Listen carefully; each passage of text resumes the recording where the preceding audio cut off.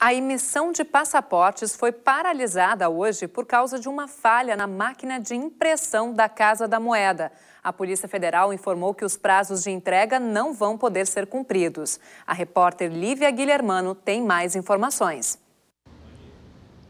O problema atinge a emissão de passaportes comuns e de urgência, que normalmente são entregues em até seis dias.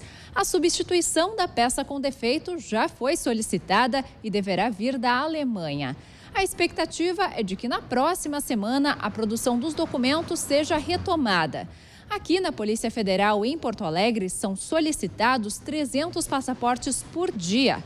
O agendamento e o atendimento ao público estão normais, mas a entrega é que está prejudicada. Somente nos casos de emergência, como questões de saúde, é que os passaportes são emitidos.